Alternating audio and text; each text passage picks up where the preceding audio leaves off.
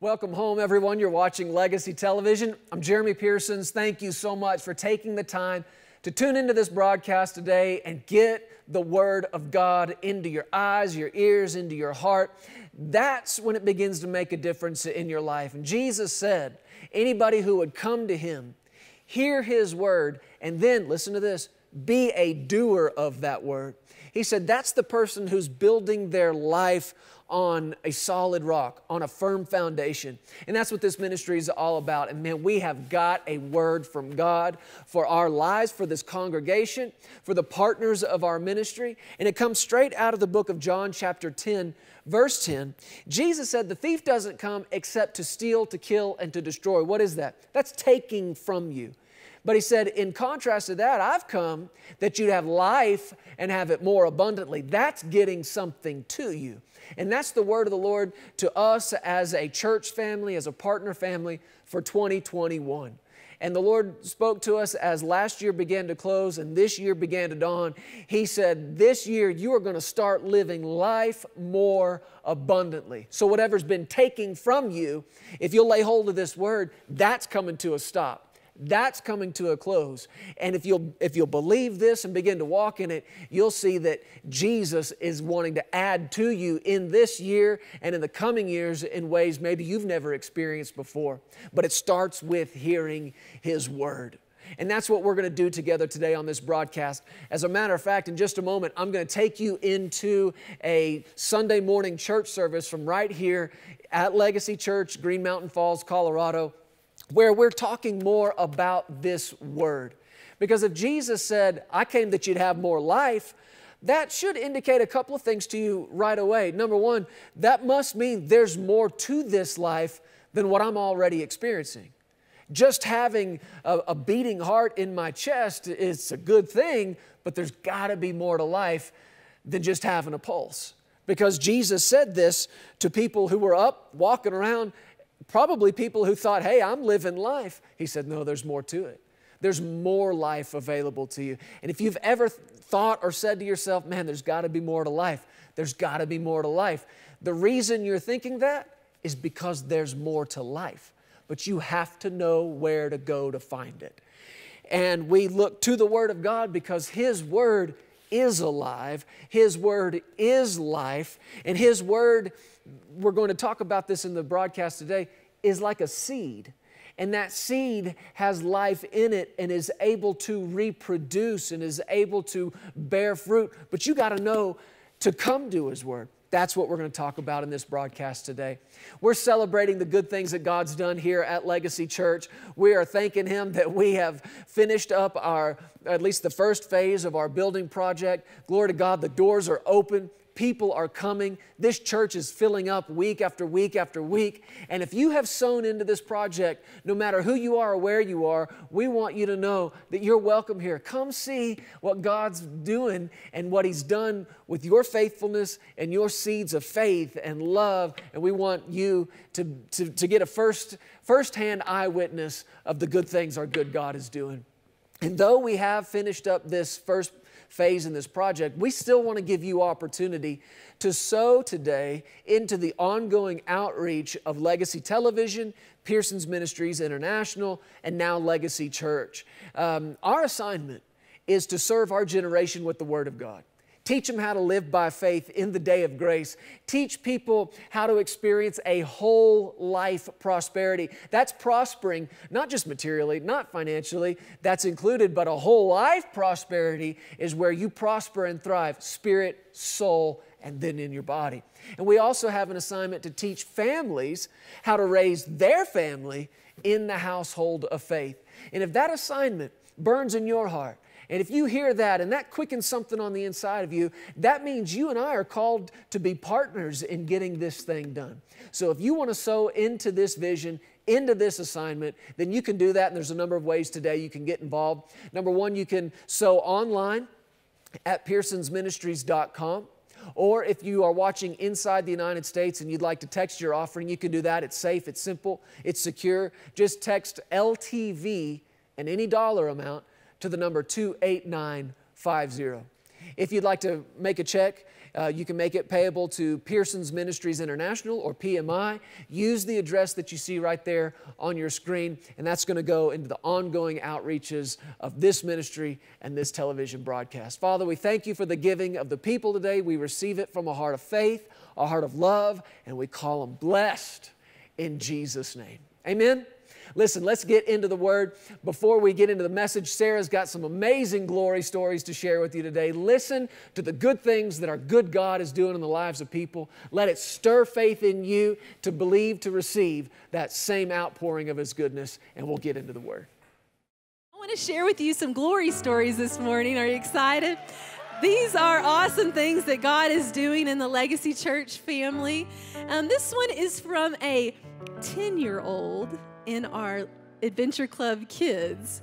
And she writes in and says, One morning I woke up at 3 a.m. with throat pain.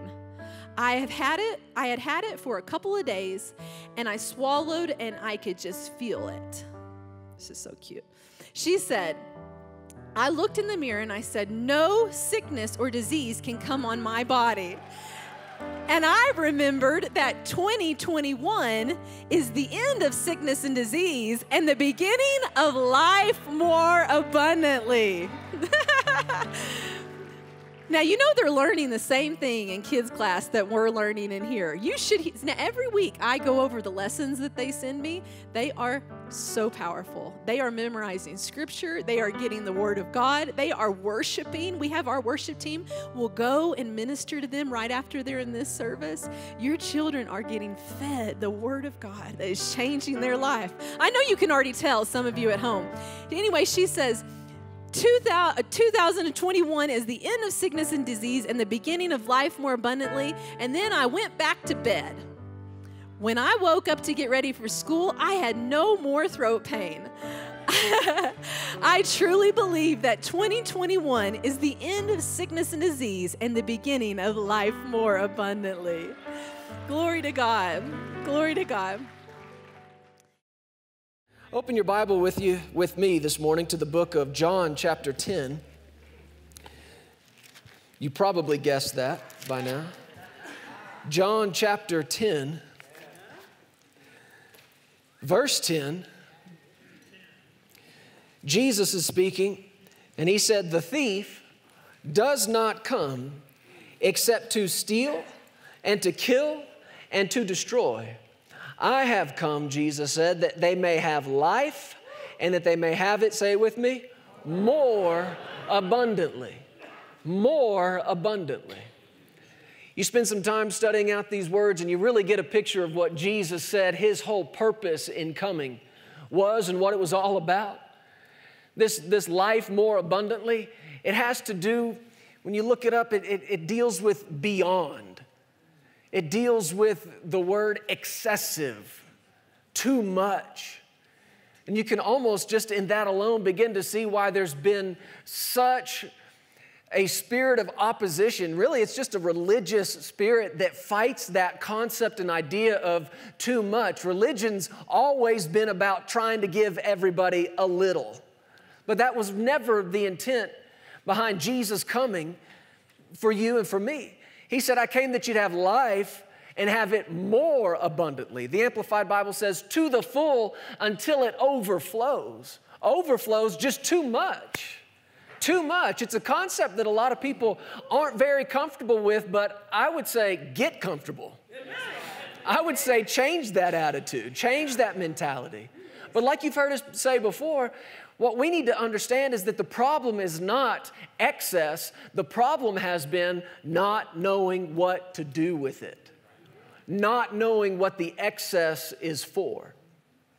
And when Jesus said he came that, that you and I would have life and have it more abundantly, he could have said anything there. I came that you'd have peace and have it more abundantly. I came that you'd have healing and have it more abundantly. But he, instead of using a specific word like that, he used a word that covered everything. I came that you'd have life and have so much life that you are full of that life and you overflow with that life. And then the purpose behind the excess and the overflow is that you find somebody to give it to. you find somebody to give what you've got. Somebody to give what you've got.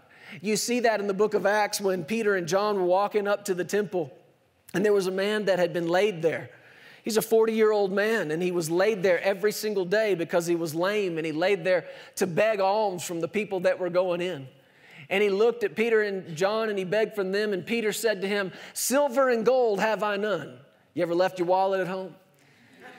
but what I do have, he said, what I do have, I'm gonna give to you. Now that's Acts chapter 3. You Bible scholars tell me, as of Acts chapter 2, what is it Peter's got? The Holy Ghost. The Spirit of God on him, in him, working through him, overflowing out of him. And that's what he's saying. What I do have, what I've got an overflow of, what I've got excess, I got too much Holy Ghost just for me. Let me give you some. And in the name of Jesus Christ of Nazareth, rise and walk. But I like the next part. It says he grabbed him by the hand. This was not optional. This was not, do you feel like getting up? What do you think? Can you raise your hand if you can sense a difference? In the name of Jesus Christ of Nazareth. And he picked him up, and it says immediately his feet and ankle bones received strength and he went walking and leaping and praising God.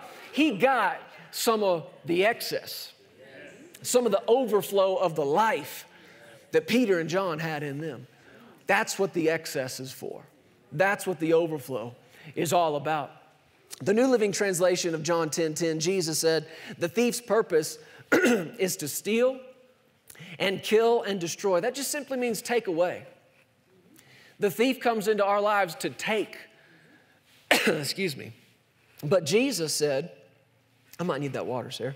My purpose is to give them a rich and satisfying life. Remember, we talked about that several weeks ago. Thank you. That Jesus' purpose in coming was to give you and I a rich and satisfying life. And you can tell just by the quietness that fills the room that people are like, Am I allowed to say amen to that? I mean, rich and satisfying? We've been taught for generations and years that these are bad words, that R I C H is a four letter word. But Jesus said this was his purpose. And like you've heard us say over and over, we've got to go to work and let the Word of God renew our minds and redefine what it actually means to be rich. It's so much bigger than we've known, it's so much deeper, it's so much wider than we've known. And I used to do this quite a bit as we would travel. I'd stand in front of a crowd like this and I'd say, A prosperous person is somebody who's got a lot of, and it's like they'd all rehearsed it together. Money, they'd say. Because that's what's on people's mind. That to them is the definition of prosperity. And I'd look at them and I'd say, That's interesting. Why didn't you say peace? Why didn't you say wisdom? Because these are just a couple of the things that the, the Word of God tells us are actually worth more than gold. See, we got to redefine what it means to be rich. Thank you, Lord. And that's what Jesus is helping us do and see here that in, to recognize His purpose was for you and I to have a rich and satisfying life, that we'd have life and have it more abundantly. I want you to go to the book of John, well, you're in John. Back up just a couple of chapters to chapter 6. In John chapter 6, we looked at this, I think it's been a couple of weeks ago, but you remember, John chapter 6 is an amazing chapter to me. It's a long chapter, and it needs to be because of everything that goes on in it. Jesus goes from one end of, the spectrum to the other. It starts with him feeding thousands and thousands of people. And then it goes to that, the, that group of thousands, that great multitude, tracking him down. And by the end of the chapter, all those thousands of people that were tracking him down and wanting to find him and wanting to hear him had turned their backs and walked away. And the Bible says, walked with him no more. In one chapter. This was a major day in the life and the ministry of Jesus. He went from being very popular, very sought after, to thousands of people abandoning him. That was a big day. But one of the things that they really got hung up on, excuse me, was what Jesus said when he began to talk to them about the bread that came from heaven. Remember, we talked about this? He, he fed them, and then overnight he goes away, and they track him down the next day, and they said, Where'd you go? And he said, You're not looking for me, you're looking for another free meal. You're looking for the sign, you're looking for the wonder. And then they began to question him, Okay, well, do that thing again, you know, where you feed everybody. And he said, You need to be careful that you're not seeking a sign and then they said, okay, well, teach us how to do the works of God. In other words, if you're not going to do it, show us how to. They, they think of him as a magician. Show us your trick. How'd you do that thing with the bread? How'd you do that thing with the fish? Teach us to do it. And Jesus said, Your work is to believe. That's not what they wanted to hear. He said, Your work is to believe. And they said, Okay, well, how about you do a sign so that we might believe? These people think they're subtle they're anything but subtle. Why don't you do a sign, then we'll believe? They didn't even let him respond. They said, You know, Moses uh, gave our fathers bread from heaven, so maybe you could do that. What are they looking for? More food. More food. And Jesus began talking to them, saying, That was not bread from heaven. I am bread from heaven. And it really ruffled some feathers. And by the time he got into all of it, he was explaining to them, You have to eat my flesh, you have to drink my blood. And they thought, This is weird. This is a hard saying. Who can understand this? And they turned and they walked away. But the reason they didn't understand it, you see it here in verse 63, where Jesus said, It's the Spirit who gives life, the flesh profits nothing. The Spirit gives life. I think other translations say the Spirit quickens. He said, The Spirit gives life, the flesh profits nothing. The words, everybody say, the words. The words that I speak to you, they are spirit and they are life. I came that you'd have life and have it more abundantly. Well, like we said a week or two ago, everybody Jesus said that to was alive. Every one of them had a beating heart in their chest. So, what he's saying is there's more to it. There's got to be more to this life than just a pulse. There's got to be more than this to this life than just waking up and going to bed and doing the same thing day in, day out. There's more life available to you, and Jesus is telling us, I'm the way to that life. Unless and until you come get it from me, you will never have it. The, the thief will take anything and everything you've got. And the only way to have and enjoy this excess and overflow of life is to know where to go get it. And that should be the first question on your mind when Jesus says, I came that you'd have life, have it more abundantly. Your next question should be, okay, where do I get it? How do I get a hold of it? Because I recognize what I'm living is not all there is. I recognize what I'm experiencing is not all there is. There's got to be more to this. So you know coming to Him, but Jesus helps us see here in John chapter 6 that it's not just in coming to Him, it's specifically in what He says. He said, My words are spirit and my words are life. Life.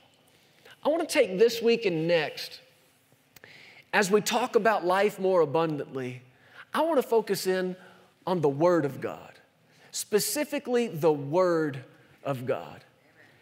If there's one thing that Sarah and I desire for you to pick up from your time at Legacy Church, if there's one thing we want you to see above all else and to develop above anything else, it's a love for the Word of God a love for God as He's revealed Himself in His Word. And some might say, well, don't you think loving Jesus is important? Yes, that's what I said. but don't you think loving God is, is, is important? Uh huh, that's what I'm talking about. A love for His Word.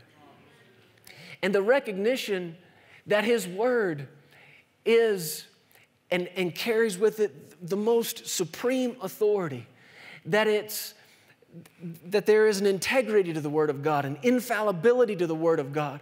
We want, as a result of your time in this church, for you to develop this first response, this first reaction that no matter what it is you face and go through, there's a confidence that rises up in you that says, okay, the Word has something to say about this.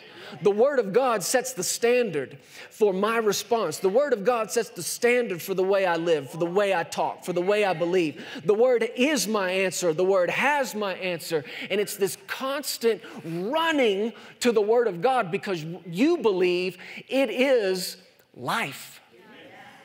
It's life. Jesus said, My words are spirit and they are life.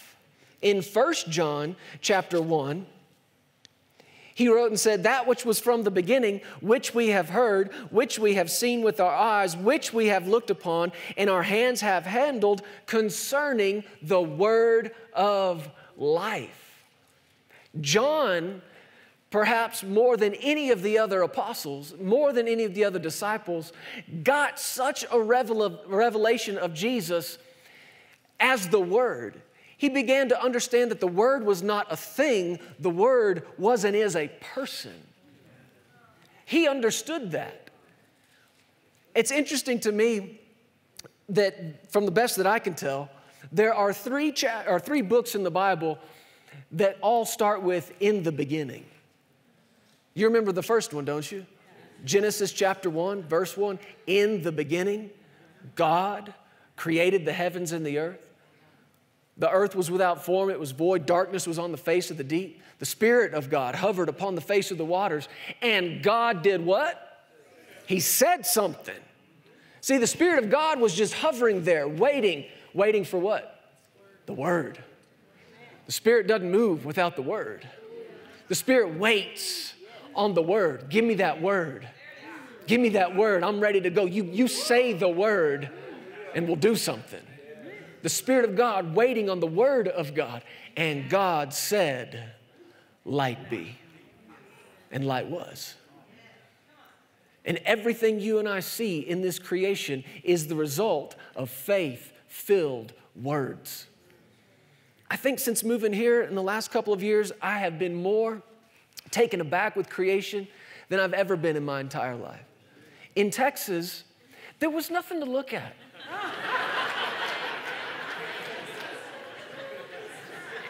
And if you ask a good Texan, they're proud of that. We got 100 miles visibility. Yeah, because there's nothing in the way.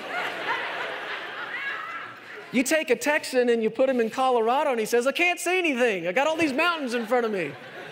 You take a Colorado and, and put him in Texas and says, There's nothing to look at. But the Bible tells us that God is clearly seen in creation. And this, this house we found and moved into a year and a half ago, we're, we're out away just a little bit on a little bit of land, and we don't have a lot of light around us. And there are so many stars up there. I don't know if y'all knew this or not. There's a lot of stars. Texas doesn't have as many stars. Well, I should say Dallas Fort Worth doesn't. We've got some places in Texas where you can see about all of them. But I've just stood out there and looked and I downloaded this app to my phone that you hold it up to the sky and it, it overlays the galaxy on it. And you can point and, and click on a star and it'll tell you about it. And for weeks on end, I just go out and I look, I'm like, there's Jupiter, there's Saturn. It's just been astounding to me. And it's not just some hobby. To me, I'm looking up into it and seeing, you talk about abundance. You talk about God Himself being revealed. He chose to do it that way. Let me reveal myself to you in creation. And then I'm gonna put some stuff so far out there that your brain doesn't even wrap around it. The brightest star in our sky besides the sun is called Sirius. And you know what? It's nine light years from us. Nine light years. You know what that is? It's traveling at the speed of light. 186,000 miles per second and going that fast 186,000 miles, not an hour, a second. it would still take you nine years to get there. And there it is. And I just look at it and I don't even know what to think about it other than, God, you're awesome. God, you're amazing. Your abundance. I guess He could have just put us here, but where's the fun in that? Huh? And I believe that creation and the vastness of it and the bigness of it, some people look at it and they get a, the, the, the sense they get is how small and insignificant we are. But it really should be just the opposite. When you think about how much is out there, and yet all of that revolves around His love for you, that ought to reveal to you not how insignificant you are, but how precious and how valuable you are in the sight of God.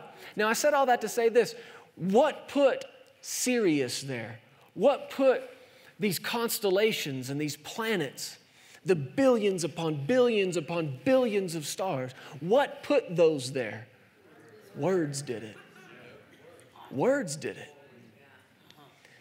That's his method of creation. It's his method of sustaining. It's his method of giving life. It's the, his method of bringing uh, life back to the dead and bringing from death to life. It all goes back to his words. His words are spirit and they are life. And there's a bit, there's the reason right there all those people walked away from him when he started talking about eat my flesh and drink my blood. The problem was they couldn't hear it through spiritual ears. Thank you again for tuning into this broadcast today. We believe that if you heard the word with an open heart, then there's great change coming in your life. The, the revelation of the Word of God can bring change to anybody who will believe it anybody who will put it into practice, and that's what we want to see happen in your life. I want to put a phone number right now on our screen for you. We, we love to pray with people, love to come into agreement, and whatever it is you're facing right now, uh, the Word of God has something to say about it. And we have, a, it's a small staff here, but the ones that we have love to reach back out and pray with our, our partners and anybody who wants agreement concerning anything going on in your life, and we'll go to the Word together. We'll find out what God has said about it We'll come into agreement. And Jesus said, Will you get two or three in agreement together? He said, There I am in the midst of them. And we'll believe that we receive a manifestation of Jesus in your life, your home, your family, and He can turn things around. And you'll be one of these ones who's writing in these glory stories, giving all the praise, all the glory to God for the good things He's doing in your life. So contact us. You can use that phone number, you can use our website, you can connect with us through our app, the Legacy Studios app.